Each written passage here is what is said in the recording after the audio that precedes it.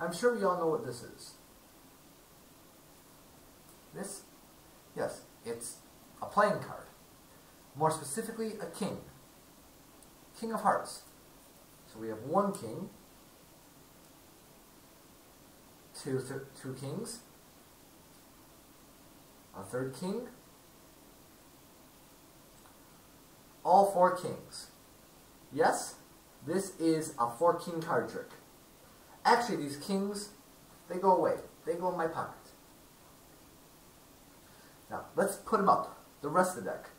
So that leaves the other 22, 36, 46, the other 48 cards.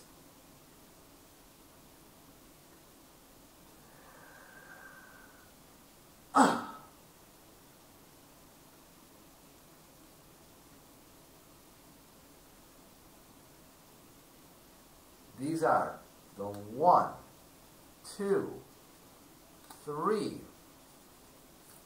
the four kings. Well, if these are the kings in my pocket,